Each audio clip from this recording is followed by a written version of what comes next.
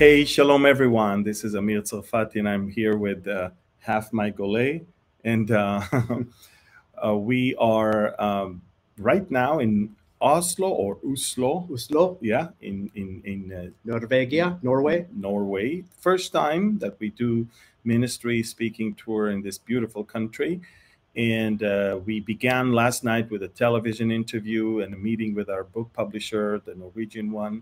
Um, and uh, we will uh, do a conference today, awaiting his return Yep, conference. Asker Conference Center, just south of Oslo. Exactly. And uh, tomorrow we're going to fly all the way to Bergen, the second largest city, and uh, we're going to spend uh, there a weekend uh, speaking Friday night, all day Saturday, and Sunday morning before we continue to Yeah. Haugesund. Haugesund. Okay, but but let's pray, and then I wanted to update you because so many of you are praying for us, and so many of you are wondering where have we disappeared because uh, I, wasn't active online as much as I normally do uh, when I'm back home. So, uh, Mike, why don't you pray, and then we'll dive into this short but very interesting ministry update. Yeah, Lord, allow us to consolidate all the key points so that everybody watching this can appreciate, support, and continue to pray for us and the ministry. Really, your word to go out in these European countries. So we entrust this time that it would be of great value for everyone that watches in Jesus' name.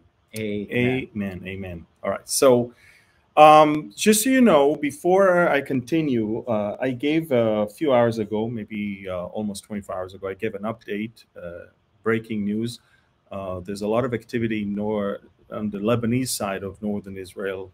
Um, uh, the Hezbollah decided to deploy its elite forces along the border, which means that that signals that they're plotting something. And Israel is uh, convening its um, uh, security cabinet, and uh, at the same time, at the same time, Iran is releasing more and more and more statements that they are not going to allow Israel to attack uh, the nuclear sites. And then they said Israel's uh, accusation that we have a brand new underground nuclear site is wrong. No, we're we're doing everything under the international community, open eye, blah blah blah blah blah. All of that to say that there's a direct connection between the two. And as and I really hope that you follow me on Telegram because this is where I put my also my assessment. I believe that if Israel wants to go and destroy several of the most important key locations uh, under the ground in the mountains of, of uh, in the area of Isfahan, uh, deep in the ground. We're talking about tunnels with tons of of not only rockets and missiles, but also enrichment facilities that they're now uh, working on, so they can enrich more and more without the open eyes of the IA, uh, International Atomic Ag- Energy Agency, IAEA. Now, watch this. Israel released more than one statement yesterday saying that we're ready for something much bigger than just Gaza. We understand that and you need to understand, there's, there's one thing that the Iranians care more about destroying Israel is the preservation of their own country and regime. They, they understand that if they pose a threat, existential, ex, existential threat in Israel, we will destroy them. And they do not want that.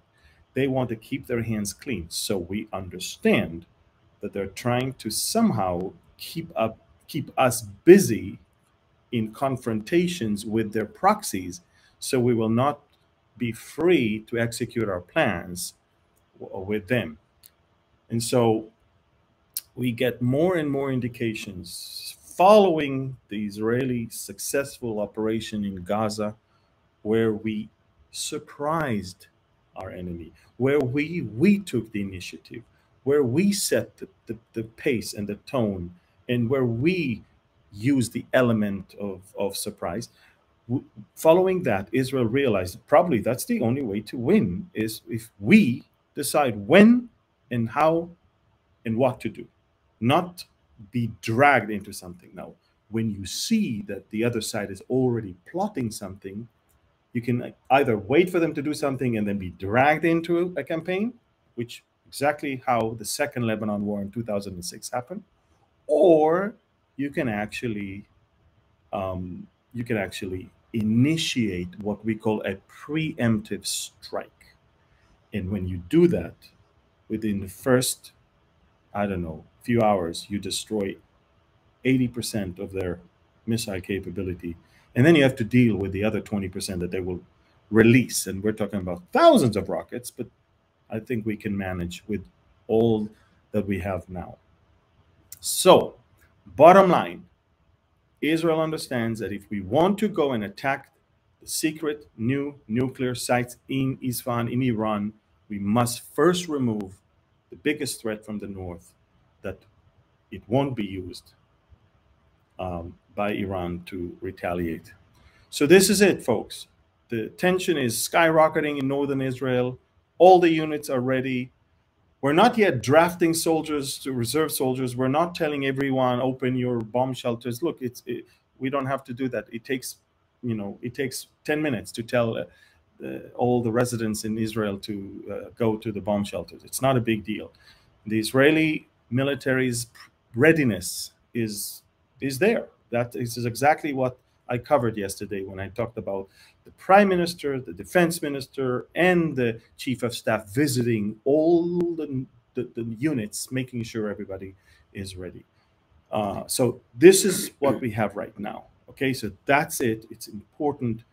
And Mike, I don't know if you know that, but there's millions of people on a prayer, uh, global prayer meeting, uh, prayer uh, campaign for Israel. And maybe, maybe it's for such a time as this because there's something much bigger than the Gaza thing that is on the horizon. So this is the update that I needed to give about what's going on in Israel. And now let's talk more about ministry. Do you have anything to add? Yeah, I would like to add just just just a few things because we have all of this prayer and because of all of the people coming around Israel at this time, given the inevitable dangers that are growing in the north with Syria and with Iran with their nuclear program and the alliance that they're making with Russia and China. It's a very alarming situation, even from an American military perspective. Tactically, the Israelis are doing the right thing. They're striking preemptively. And I'm very happy to report to you that the civilization, the people of Israel, which are the lefties very much don't like these operations. In fact, if they had it that their way, there'd be peace and kumbaya and holding hands but I'm glad that they're able to perform these operations. Less people die this way than all out battles. So you take the head off, and then the enemy squirms and cannot reformulate its next plan. So we do not rejoice when anyone dies, but in this fallen world that we live in, sometimes for good to, to succeed, you have to strike yes. decisively yeah. and quickly. Now, the fun stuff that we like to talk about is the ministry. Correct. So Amir was in London in a very successful recording of Has the Tribulation Begun book. We're very happy with the way that turned out. And then you spoke in a Romanian speaking church that operates in London, and that was deemed, yes. in my in my view, as a great success to reach many Romanian speakers and uh, uh, listeners. And a lot of the a lot of you Romanians know that that our channel, our Romanian channel on YouTube has grown since that weekend, mm. and I'm very happy to see. Yes, uh, I spoke at Genesis Church, Pastor uh, Florin Antoni, and uh, um, the the reason why I spoke there is because it was the 75th anniversary of Israel. I, I found it to be an, an important date, uh, and we addressed that over there in that weekend. Uh, so I spoke there uh, on Saturday and Sunday. Mm and the next uh, and then a couple days later i flew and met you in belgium and we had a wonderful time yeah. of fellowship with the saints in belgium and we held our second awaiting his return conference in Kortessem. Kortessem in Belgium. It was uh, packed out. Yes. We were very happy with the attendance, and people had traveled not just from Belgium, yeah, from but from Germany, Germany from Holland. Yeah and we were able to do an all day uh, and q&a time it was very surreal to see belgian teenagers leading yes. us in worship with the same kind of passion i've seen in places like yeah. the united states and other places where yeah. Uh, people are on fire. This was an on fire. In fact, that's a, a, common thing that we see in Belgium and in the Netherlands, and we really hope to see it also here in Norway. Young people. We were very surprised to see yeah, a lot of amazing. young people are showing up. They're probably fed up with everything you see around them. Yeah. They see the deterioration of culture. They see that it doesn't fit even common sense and uh, and and we, we're very encouraged to see that. So we did the the Belgium part, and in the same afternoon we finished. We got in a car, and Bart, our coordinator in Belgium, drove us to Amsterdam's Schiphol airport, where we stayed the night. Following that night, we went to a television channel uh, seven family, family seven, seven, family tv number seven yeah, the largest christian yeah. television uh, uh, channel christian channel in the netherlands. We had a nice uh, interview there both of us. It was a wonderful interview and they were asking us questions about israel bible prophecy. It was a 30 yeah. minute interview chocked full of content. We really packed a lot into Correct. that interview and then of course that evening we began the first ever european Revealing Revelation conference. Oh my goodness! It First was, time I ever presented Revealing Revelation true. material. Me, second, yeah. second time for you. Yes, I did it already in, twice in the Philippines with Pastor Barry Stagner. That was my third time for me to do it. We covered the entire book of Revelation. The people, I mean, about thousand people showed up in LEG, the uh, uh, church uh, facility near the airport and uh, for two days in a row we covered the whole book. the whole book. of revelation. Yeah amazing. Amazing. and, uh, we had a q&a session a couple days later. Uh, we also met with our german publisher. Uh, we, we, we, we saw my uh, thriller thriller books coming out just uh, on time um, in German, and, and even now, we, yesterday when we met the Norwegian publisher, we saw some of the new books by the way, time. folks, if you you're saying, "Oh, we really would have loved to see that," you know, it was in English and then Dutch translation. Well, if you really want to see it, all you have to do is go to our YouTube, and then you click on channels. Just go to the Dutch channel, and we'll have it there. It's it's you'll have to scroll. You'll have to scroll because it's like several hours. But you can see the teachings there if oh, you really want. I didn't know yeah, that. It's, on, yeah. it's on our Dutch. Yeah, channel. we're going to upload it there. We yeah. will. Yeah, we'll so upload it, it there. It may not be there yet. Yeah. So I, I don't think they. Uh, they, they did they uh, film also the first one? The first one may be a problem, but I, they were trying to upload it and yeah, keep, we'll keep it at one segment. But it, it, that's that's just we're giving you something. Yeah. Know this. Know this. This will all be recorded seamlessly in English yes. ultimately, and we'll put it out yes. there. This is the whole book of Revelation. Yeah. So we we we did that in the Netherlands, uh, and uh, then we left, and uh, we arrived in Norway. And as you know, uh, we did that TV interview last night, and uh, today we're gonna have our first conference here in the Oslo area, and tomorrow we're gonna fly to Bergen and have a packed weekend, and then another uh, session that we will do in Haug- Haugesund. Yeah, on Monday we'll have two sessions. One yeah. uh, just at noon to about two, and then in the evening. Yeah. And uh, this is a huge shock to see how many Norwegians are not only Bible believing, but have a firm grasp and hunger for yeah. Bible prophecy. I'm I did not realize. Yeah, it's it's encouraging to see that because most, if not most of their churches here, uh, don't even teach prophecy no. at all. Uh, they don't even teach the Bible at all. I mean, it's the. But anyway, long story short, we're committed uh, to bring uh, our teachings uh, all over and uh, after we're back to Israel, we will fly to Italy for another Revealing Revelation conference in Catania in Sicily. We're expecting a full house there as well from all over the country. Um, it's it's going to be a, a, long three days Friday night, all day Saturday, and even in, on Sunday. Seven different messages. And then we will also do Missione Paradiso live on Monday, talking about current events and connecting them to Bible prophecy.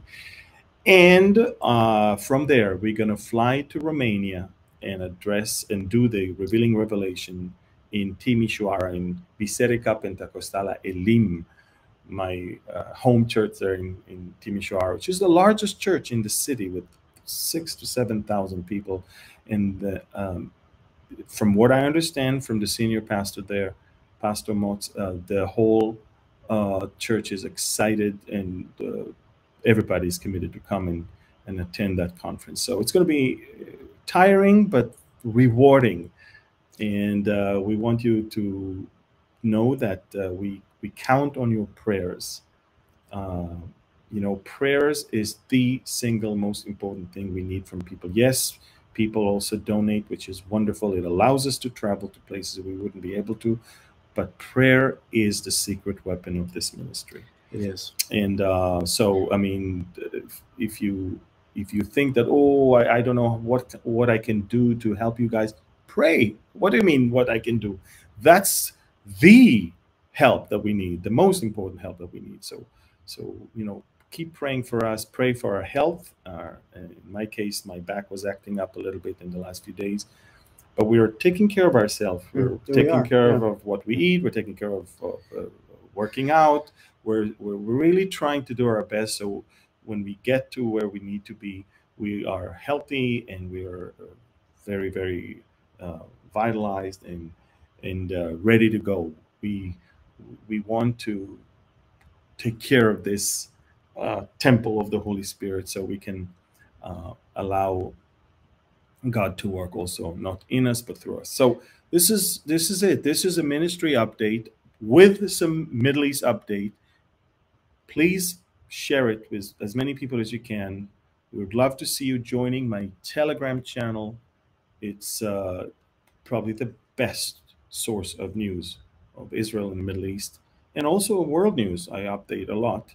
Uh, so go to Telegram. We're going to put on the screen. Well, this also. is the website where yeah. you can get our newsletter. You yeah. can subscribe to Telegram. You can see our uh, teaching, uh, uh all of the events that we're going to be at. You can see everything there. Scan this, and you can play around yeah. and learn everything and subscribe to anything that you yes. want to. It's a very great resource for you. And I want to say your prayers, as Amir said, are carrying us. We also thank you for your generous donations that allow a lot of these places to hear God's word. Really, folks, the difference that you're making in people's lives cannot even be measured. Okay.